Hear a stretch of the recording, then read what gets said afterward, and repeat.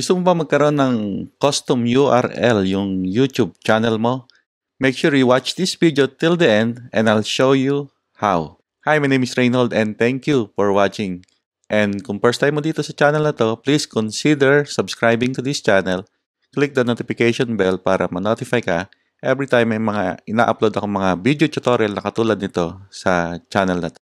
Anyway, ngayon, papakita ko sa iyo paano uh, magkaroon ng sariling YouTube channel URL. Pero may mga uh, requirements lang bago mo magawa to. So, punta na tayo sa computer para maipakita ko sa iyo paano gawin to. Stay tuned. So ngayon, para magkaroon ka ng custom URL, may mga requirements lang. Si YouTube yan. Bago ka bigyan ng chance na magkaroon ng custom URL. Isa sa mga requirements, dapat meron kang uh, banner. Yan, katulad nito. May banner ka sa channel mo, may ginawa kang banner. Tapos may YouTube icon. Tapos, uh, at least 30 days uh, old yung channel. Saka meron kang uh, 100 subscriber. Yan. So, thank you, thank you sa mga subscriber na, na kundi dahil sa inyo, hindi umabot na 157 yung subscriber ko sa ngayon. And uh, I want to take this uh, opportunity na magpasalamat sa inyo na for subscribing na sana nakakatulong yung mga video tutorial, itong mga video yung sinishare ko dito sa channel na to.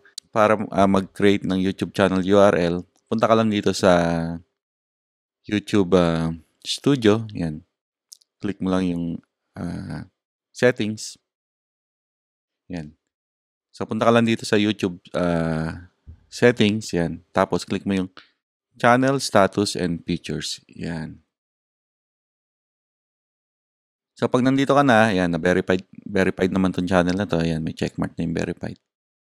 Ayan. Dito nakalagay, custom URL eligible yon So, nung wala pa akong 100 subscriber, uh, hindi ito nakalagay na eligible. So, so ngayon, eligible na siya. So, mag-create na ako ng custom URL. Anyway, para mag create ng custom URL dito sa YouTube, click mo lang yung enable. Yan. Pag-click mo ng enable, pupunta ka dito sa youtube.com uh, forward slash account uh, advance. Yan.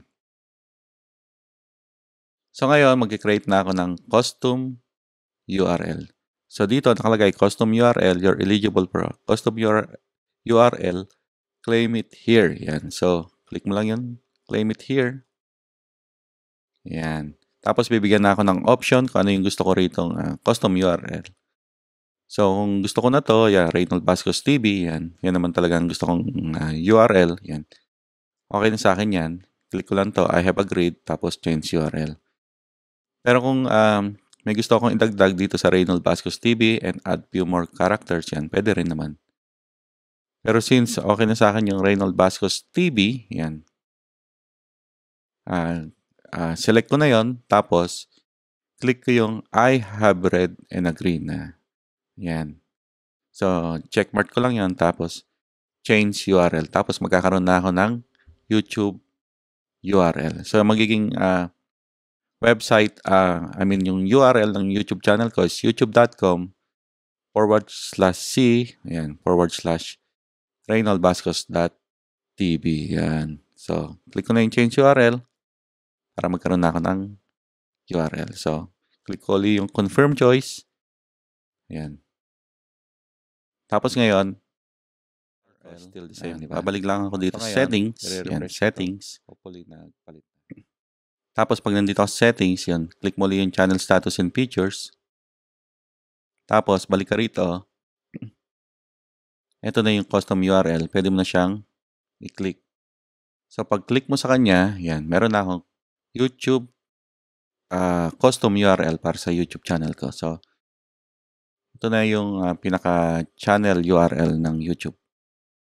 So, ganun lang, ganun lang kadali mag, uh, uh, mag-create ng custom URL para sa YouTube channel mo. Yan. For watching and uh, kung first time mo dito sa channel na to, please uh, consider uh, subscribing to this channel. Then click the notification bell para ma-notify ka every time may mga ina-upload ako mga bagong YouTube tutorial na katulad nito. Yan, mga video tutorial, yan, Facebook tutorial. Yan, ah, video creation tutorial. And kung nagustuhan mo tong video na to, please give me a thumbs up yan.